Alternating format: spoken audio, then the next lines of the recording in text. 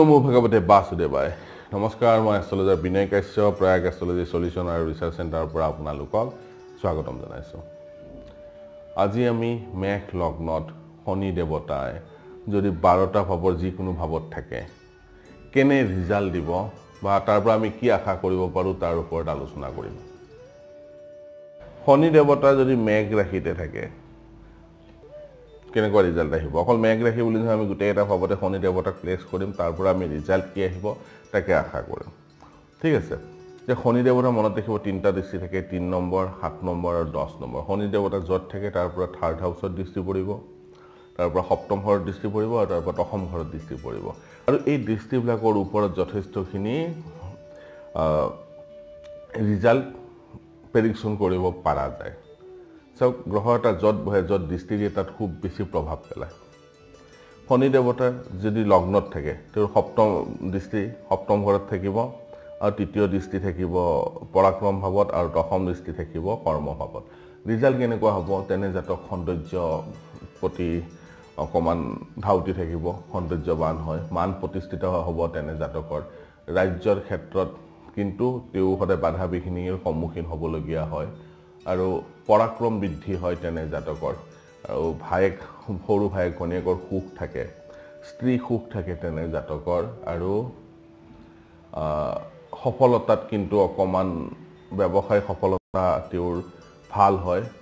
পিত্ৰাকৰ পৰা বা মিত্ৰবিলাকৰ পৰা বা সমাজৰ ক্ষেত্ৰত তেওঁ এজন প্ৰতিষ্ঠিত ব্যক্তি হয়।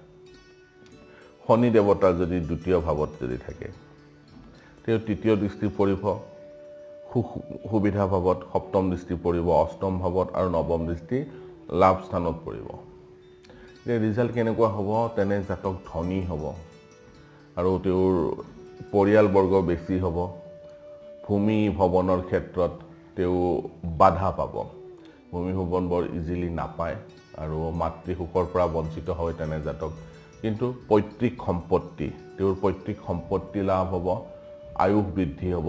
তেনে জাতক ধনী হয় আশ্চৰ্যৱান হয় কিন্তু তেওঁলোক অলপ অশান্ত হয় মানসিকভাৱে অশান্ত হৈ থাকে। শনি দেৱতা যদি মিথুন ৰাশিত যদি থাকে তেওঁৰ তৃতীয় দৃষ্টি পঞ্চম ঘৰত পৰিব সপ্তম দৃষ্টি ভাগ্য ভাৱত পৰিব আৰু অষ্টম দৃষ্টি আৰু নৱ দশম দৃষ্টি তেওঁ ব্যয় ভাৱত পৰিব। এতিয়া ইয়াতে কেনেকুৱা ধৰণৰ ৰিজাল্ট হ'ব? জাতক পৰাক্ৰমী হ'ব সৰু ভায়েক ভনীয়েকৰ সুখ পাব জাতকে পিতাকৰ সহযোগিতাও পাব আৰু ৰাজ্যৰ পৰা তেওঁ সহযোগ সহযোগিতা পাব। বিদ্যাত কিন্তু তেনে জাতক বা জাতিকাই বাধা পায় আৰু সন্তান তেনে জাতকৰ দেৰিকৈ দেৰিকৈ হয়। ভাগ্য উন্নতিত কিন্তু তেওঁৰ বাধা থাকে। ৰৈ ৰৈ ভাগ্য উন্নতি হয়। ধৰ্ম পালনৰ ক্ষেত্ৰতো বাধা বিঘিনি থাকে। বিয়াই লাগাতকৈ বেছি হ'ব তেনে জাতকৰ। আৰু তেওঁলোক ভগৱানৰ ক্ষেত্ৰত অকণমান অসন্তুষ্টি প্ৰকাশ কৰে তেনে জাতক বা জাতিকাই। শনি দেৱতা যদি চাৰি নম্বৰ ভাৱত সুখ সুবিধা ভাৱত থাকে শনি দেৱতা কৰ্কট ৰাশিত থাকিব যিটো চন্দ্ৰৰ ৰাশি হয়। তেওঁৰ সপ্তম তেওঁৰ তৃতীয় দৃষ্টিত ৰোগ ঋণ মোকদ্দমা ভাৱত পৰিব সপ্তম দৃষ্টি কৰ্মভাৱত পৰিব আৰু দশম দৃষ্টি পৰিব লগ্নত।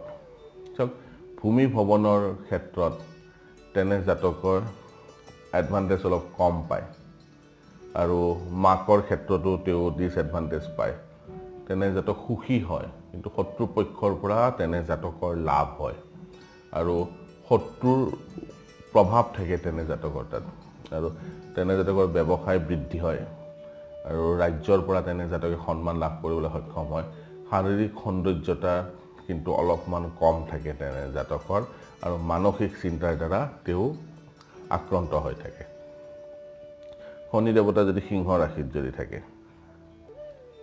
শত্ৰু ৰাশিত থাকিব সিংহ ৰাশিৰ অধিপতি সূৰ্যৰ লগত শনি দেৱতাৰ যিহেতু মিত্ৰতা নাই তো শত্ৰু ৰাশিত থাকিব তেওঁৰ তৃতীয় দৃষ্টি থাকিব সপ্তম ভাৱত সপ্তম দৃষ্টি থাকিব তেওঁৰ ব্যয় ভাৱত আৰু এতিয়া ৰিজাল্ট আমি কি আশা কৰিব পাৰোঁ যে চাব তেনে জাতক তেনে জাতকৰ বিদ্যা প্ৰাপ্তি খুব ভাল হয় আৰু বুদ্ধিও খুব তীব্ৰ বুদ্ধি হয়। সন্তানৰ ক্ষেত্ৰত কিন্তু মতভেদ থাকিব ব্যৱসায়ত তেওঁ সফল হ'ব স্ত্ৰী সুখৰ পৰা পৰিপূৰ্ণ হ'ব। তেওঁৰ আইৰ ক্ষেত্ৰত ঠিক আছে আইৰ ক্ষেত্ৰত বিশেষভাৱে লাভৱান হ'ব কাৰণ কিয় তেওঁৰ নিজৰ ঘৰতে দৃষ্টি দি থাকিব নিজৰ মূল ত্ৰিকোণ ৰাশিত যিহেতু দৃষ্টি দিব আইৰ ক্ষেত্ৰত সফলতা পাব পিতাকৰ পৰা তেওঁৰ লাভ হ'ব আৰু ৰাজ্যৰ পৰা বা দেশৰ পৰা তেওঁ সন্মান পাবলৈ সক্ষম হয় আৰু লগতে তেনে জাতক ধনী হয়। শনি দেৱতা যদি কন্যা ৰাশিত যদি থাকে নিজৰ মিত্ৰ ৰাশিত যদি থাকে বুধ আৰু বুধৰ কন্যা ৰাশিটো হ'ল মূল ত্ৰিকোণ ৰাশি তেনেহ'লে তৃতীয় দৃষ্টি তেওঁৰ অষ্টম ঘৰত পৰিব আৰু সপ্তম দৃষ্টি মীন ৰাশিত পৰিব। আৰু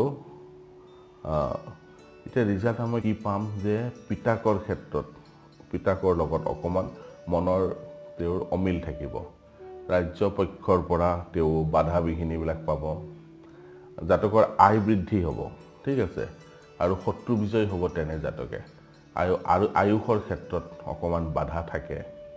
পৈতৃক সম্পত্তিত বাধা পাব তেনে জাতকে। খৰচ লাগাতকৈ বেছি বৃদ্ধি হ'ব। আৰু যদি ফৰেন লেণ্ডৰ লগত যদি কিবা কাম কৰে বিদেশৰ লগত যদি কাম কৰে তাতো তেওঁ সন্তুষ্ট নহ'ব জাতক পৰাক্ৰমী হ'ব সাহসী হ'ব আৰু তেওঁ বহুত প্ৰভাৱশালী ব্যক্তি হয়। শনি দেৱতা যদি তোলা ৰাশিত যদি থাকে সপ্তম ঘৰত যদি শনি দেৱতা থাকে চাওক তেওঁৰ মিত্ৰ ৰাশিত থাকিব যিহেতু তোলা ৰাশিটো শুক্ৰ দেৱতাৰ মূল ত্ৰিকোণ ৰাশি হয় আৰু মিত্ৰ শুক্ৰৰ ঘৰত শনি থাকিব। তেওঁৰ তৃতীয় দৃষ্টি পৰিব ভাগ্যভাৱত সপ্তম দৃষ্টি থাকিব লগ্নত আৰু দশম দৃষ্টি থাকিব। কি হ'ব তেনেকুৱা ধৰণৰ ৰিজাল্ট আমি চাব যে ব্যৱসায়িক সফলতা পাব তেনে জাতকে স্ত্ৰীৰ স্ত্ৰী সুখৰ পৰা পৰিপূৰ্ণ হ'ব পিতাকৰ পৰা তেওঁ লাভ পাব বা চৰকাৰৰ পৰা বা ৰাজ্যৰ পৰা তেওঁ লাভ পাব ভাগ্যনতিত কিন্তু অকণমান বাধা থাকিব তেনে জাতকৰ আৰু শাৰীৰিক সৌন্দৰ্যতা অলপ কম হ'ব তেনে জাতকৰ।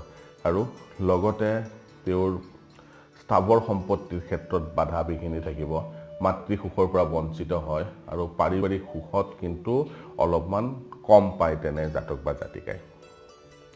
শনি দেৱতাৰ যদি বৃশ্চিক ৰাশিতে যদি থাকে শনি দেৱতা বৃশ্চিক ৰাশিত যদি থাকে মংগলৰ ৰাশিত শনি দেৱতা থাকিব।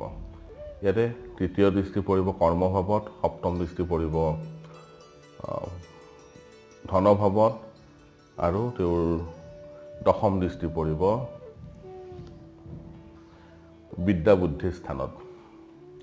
এতিয়া ৰিজাল্ট কেনেকুৱা হ'ব যে পৈতৃক পিতাকৰ পৰা লাভ হ'ব তেওঁৰ আয়ুস বৃদ্ধি হ'ব।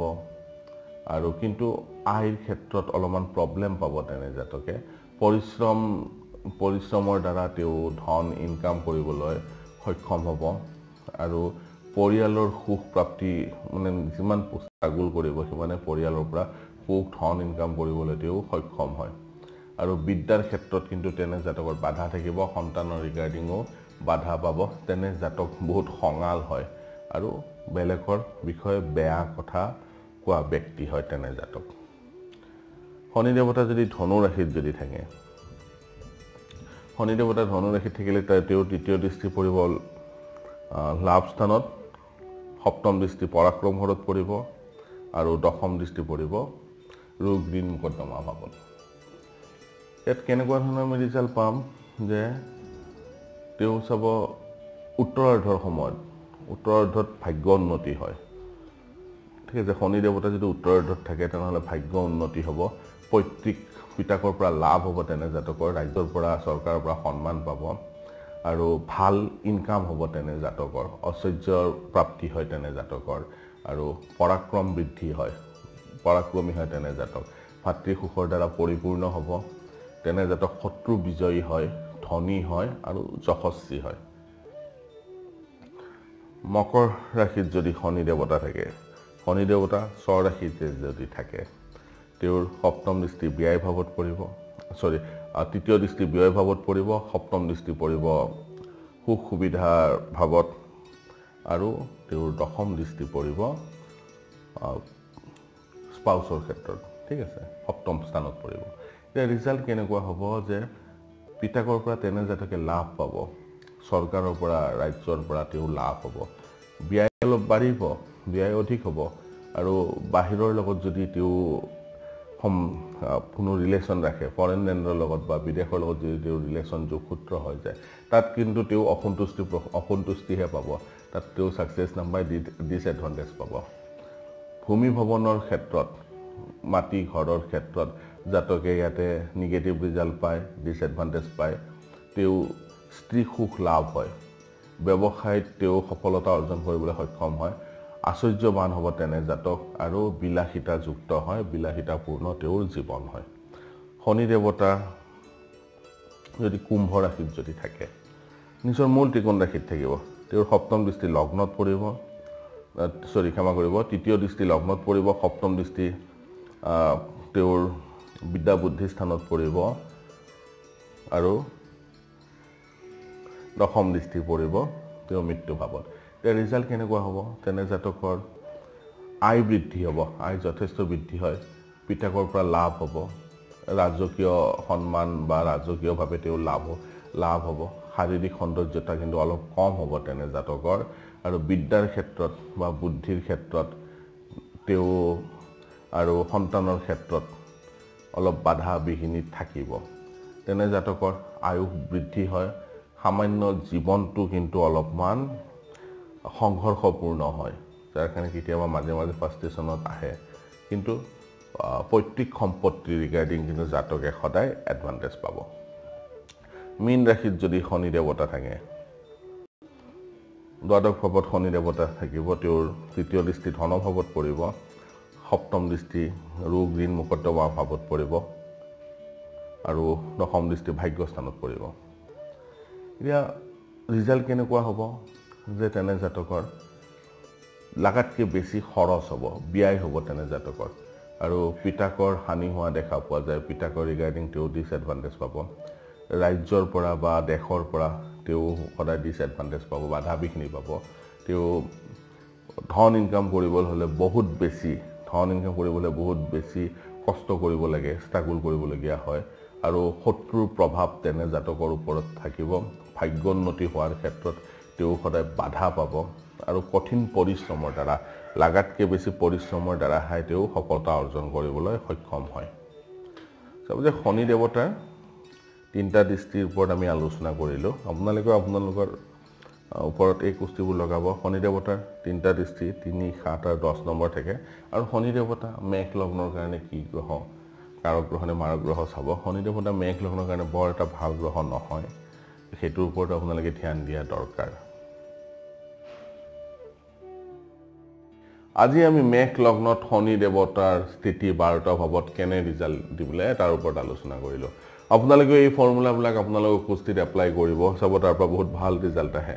আৰু মনত ৰাখিব গ্ৰহ এটা যিটো ভাৱত থাকে তাত যিটো ভাৱত দৃষ্টি দিয়ে তেওঁলোকে বেছি ৰিজাল্ট দিয়া দেখা পোৱা যায়। মোৰ ভিডিঅ' যদি চাই ভাল লাগে তেনেহ'লে লাইক কৰিব শ্বেয়াৰ কৰিব আৰু ছাবস্ক্ৰাইব কৰিব নাপাহৰিব। আপোনালোকে লাইক শ্বেয়াৰ আৰু ছাবস্ক্ৰাইব কৰিলে ময়ো অনুপ্ৰাণিত হওঁ যাতে আপোনালোকৰ নতুন নতুন ভিডিঅ' বহুত সহজ আৰু সৰল ভাষাত আপোনালোকৰ ওচৰত আনিবৰ কাৰণে। ধন্যবাদ।